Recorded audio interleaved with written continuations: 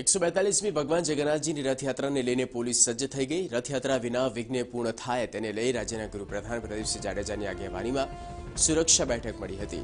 Ahmedabad crime બ્રાન્ચમાં મળેલી બેઠકમાં રથયાત્રા દરમિયાન કોઈ ચૂક ન રહી જાય તે માટેની સૂચનાઓ આપી દેવામાં આવી.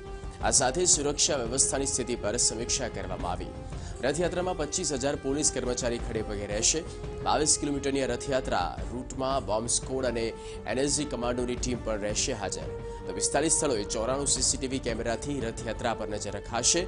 ખોટી અફવાઓ ન ફેલાય, તેના માટે પણ પોલીસ સતર્ક રહેશે.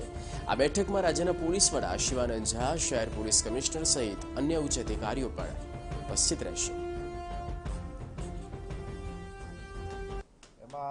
જુદી જુદી પચીસ જેટલી રેન્જોના માધ્યમથી પચીસ હજાર કરતાં વધારે પોલીસ કર્મચારીથી પોલીસ કમિશનર સુધી આ સમગ્ર યાત્રા સમગ્ર અમદાવાદ મહાનગરમાં નીકળશે.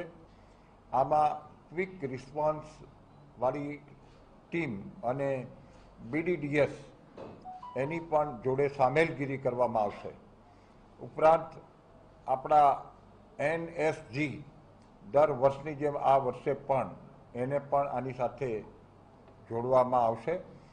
જેથી કરીને આ રથયાત્રા એ માત્ર ગુજરાત માટે સંભાળું નહીં, પરંતુ દેશના પોલીસ તંત્ર માટે પણ આવડો મોટો બંદોબસ્ત એક શીખવા જેટલી વસ્તુ હોય છે.